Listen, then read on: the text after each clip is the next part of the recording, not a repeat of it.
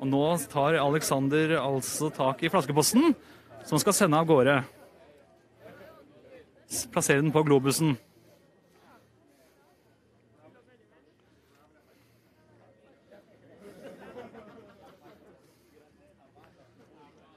Og nå straks kommer Alexander Rybak.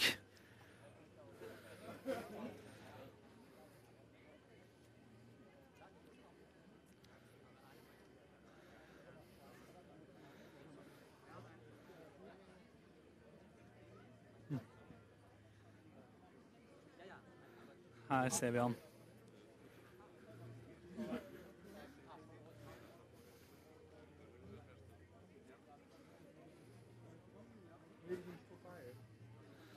Alexander Rybak deltar altså med låta 'That's How You Write A Song', som vant Melodi Grand Prix eh, 2018 i Oslo Spektrum nå i mars. Han har faktisk eh, blitt en av de eh, store vinnerkandidatene i år. Etter første prøve så klatrer hun opp eh, til en andreplass på bettinglistene. Så sjansene kan være store for at Norge nå kommer til å arrangere Eurovision neste år.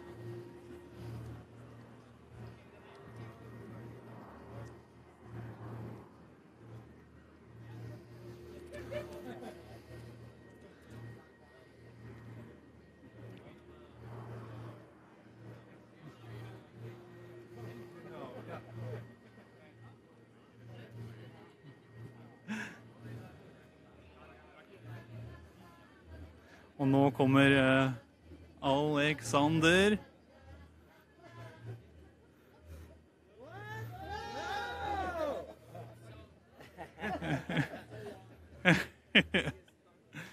Han sier at det er uh, tidenes lengste løper. Ja! Heia Norge! Heia Norge! Heia Norge! Du, det er Lene Vikander fra Gazer. Norges største outlet for eh, oss som er litt skeiv- skeivt anlagt. Kult. Og jeg lurer på, hva hadde Lene du Grand Prix hadde vært uten homofansa? Jeg mener, mange sier jo at det er den største homofestivalen i Europa. Hvis vi tar ut alle homoene, hvordan har det blitt da? Kjedelig, ikke sant? Kanskje, ja, nå legger du jo litt ord i Ja da. men jeg, jeg vet ikke hva som liksom kom uh, først av høna og egget. Jeg bare uh, ser for meg mange vakre folk som vifter med alle de europeiske flagga, og særlig norske. Og at mange av de er homofile. Jeg vet ikke om det er tilfeldighet, eller om eh, det er en, Jeg det er en regel. Jeg Men det snakka med Irland i sted. Det er jo to menn som danser sammen på scenen og sier å vise kjærlighet. Ja. Og den er jo den samme. Ja. Uansett, er du ikke enig i det? Jo, jo, jo. Jeg, altså, jeg tror jo Det som er deilig, er at verken Portugal eller Norge Det, det føles i hvert fall som at vi har kommet ganske, ganske så langt Mm.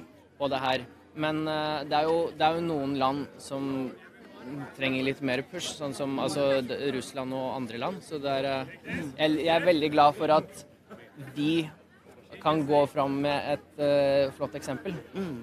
Siste spørsmål. Hvis du måtte gå på date med en av de andre mannlige artistene i år, hvem ville du valgt? Altså, jeg har jo middag hos Per Sundnes hver, hver måned.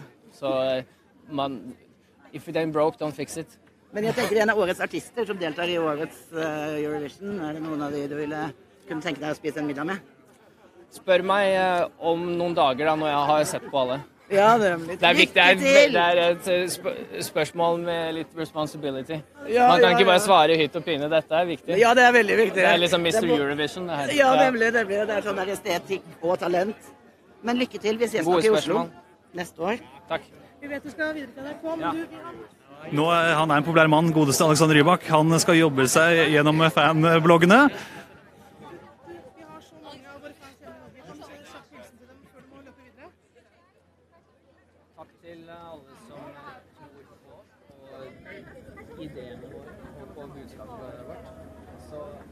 Om dere har spørsmål til Alexander Rybak, så send dem inn på kommentarfeltet til NRK Underholdning på Facebook. Alexander, hvordan har du det?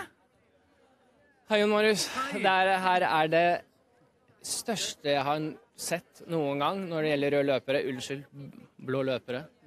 Uh, men det liker jeg. Altså, I dag har jeg på meg grønt, men uh, min yndlingsfarge er jo uh, blå, som havet.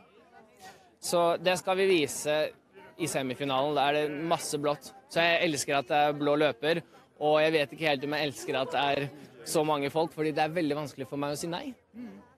Så jeg er nesten litt glad for at det er sånn, sånn vakter som dere så i stad. Det er sånn portugisiske vakter som eh, pusher oss litt. Det liker jeg. Hvordan vil du oppsummere uka di eh, her i Lisboa? Uh, masse, masse glede, eh, masse sykdom og masse øving. Ja, har det blitt bedre? Ja. Ja. Så er det noen, eh, et spørsmål på Facebook. Er det, noe, det er noen som lurer på hvem som er din argeste konkurrent? Uh, jeg syns fremdeles det er Nederland. De er, uh, det er fordi det, straks jeg gjorde den derre videoen med noen av de andre deltakerne, noen av de andre sangene, så kom liksom Nederland Det bare kom så naturlig for meg. Det, det, det var så deilig å spille. Og så, og så begynte jeg å synge på den mer og mer. Og, ja, det, er, er, det er jo amerikansk, da, men det er morsomt, er morsomt at noen eh, introduserer liksom den sjangeren òg. Og eh, så Tom Erik lurer på hvordan vurderer du dine egne vinnersjanser? Tom Erik, eh, jeg håper jo bare å gjøre Norge stolt. Det er, eh, det er et ansvar, men det er et morsomt ansvar. Og eh, din kommende uke, hvordan ser den eh, ut for deg? Unnskyld? Din kommende uke? Du, det er som følgende at eh, der har vi tre minutter som vi fokuserer på. Og det er de tre semifinalen. Å spare stemmen. Og din opplevelse av Lisboa versus Moskva. Altså Er det noen som eh, din opplevelse Vil du konkurrere din opplevelse i Moskva akkurat nå? Jeg liker jo å Jeg er en veldig nysgjerrig fyr, da. Så jeg liker jo å se liksom de ulike sidene av alle land. Og i Moskva så liksom Man slår seg på brystet og roper stolt. Mens i Portugal så er man veldig flink til å lytte til hverandre. Og det liker eh, 31-åringen Alexander Rybak, vet du. Har blitt moden og liker eh, når folk oppmuntrer hverandre til å Oppmuntrer hverandre til å lytte, rett og slett. Ja. Og Vi er jo direkte inne nå på Facebook. Eh, har du noe å si til de norske følgerne som følger deg hjemme? Altså til NRK, eller til Til de som sitter og følger med nå? Direkte. Jeg syns det er veldig hyggelig at eh, nå i 2018, hvor alt er egentlig i nuet, at det er folk som faktisk følger med, ikke bare i semifinalen, men folk som heier på oss nå, på den blå løperen her. Fordi eh, vi gir jo alt vi har, stadig vekk. Så det er veldig hyggelig at dere gir oss alt dere er, altså. Det er veldig hyggelig. Men eh, vi ønsker deg masse lykke til, Aleksander. Alexander. Det trenger vi. Men vi er et, vi er et kjempegodt team. Og som sagt, vi lytter til hverandre, sånn som folk gjør i Portugal her. Vi er veldig inspirert av det derre Jeg hører på dine ideer, du hører på mine. Det er jo det sangen handler om. Høre på hverandres ideer, og ikke minst sine egne. Ikke minst. Ja. Men eh, du får kose deg videre på eh, den blå løperen i kveld. Så er det bare å gjøre seg klar til prøvene prøvene denne uka. Jeg tror nok jeg har gitt eh, det meste til dere.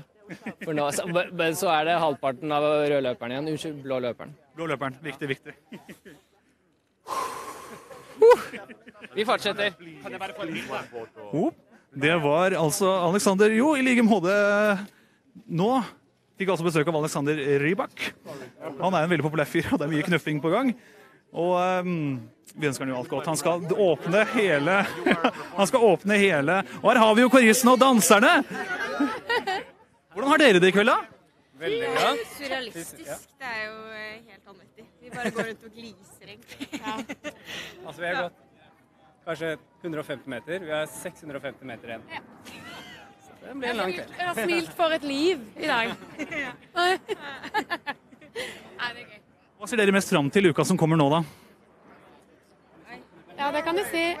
Yes. Gjenta det? Norway 12 points. Indeed.